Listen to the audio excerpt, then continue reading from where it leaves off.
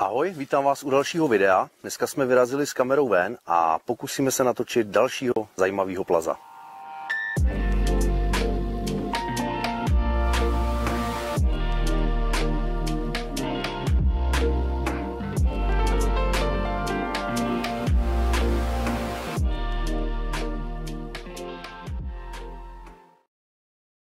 Dneska si najdeme slepíše křehkého, natočíme ho a něco si o něm řekneme.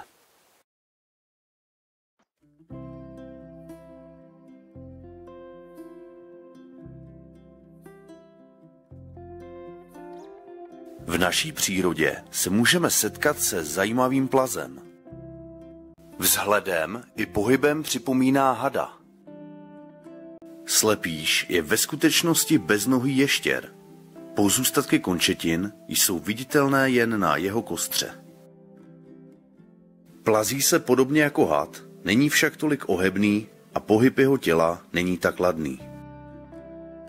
Hlava je krátká a je nevýrazně odlišena od trupu. Oči jsou malé a mají pohyblivá víčka.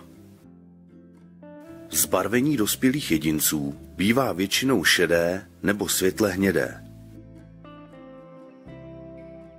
Samice a mladší jedinci mají tmavě hnědé až černé boky. Mláďata mají bronzovou až zlatavou barvu hřbetu.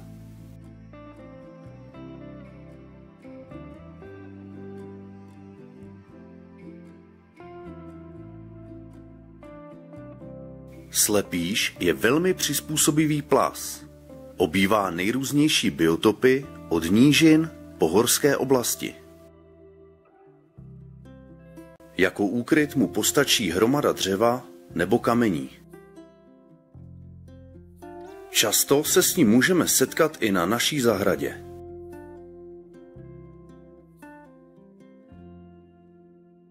Tento ještěr se dožívá vysokého věku, klidně i přes 20 let.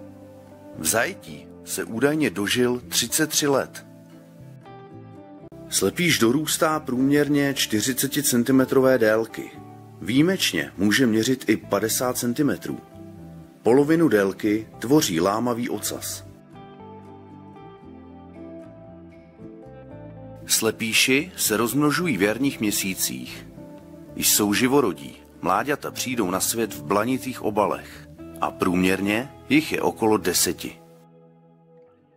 Potravou těchto plazů jsou především slimáci a žížaly.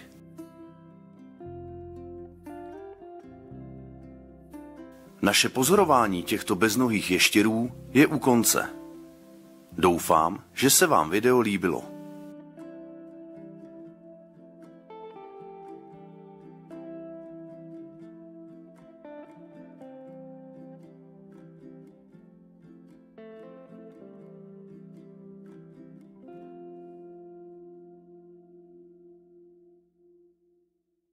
Tak tohle byl Slepíš, já doufám, že se vám video líbilo, určitě budu rád za lajky, odběry, případně nějaký komentáře.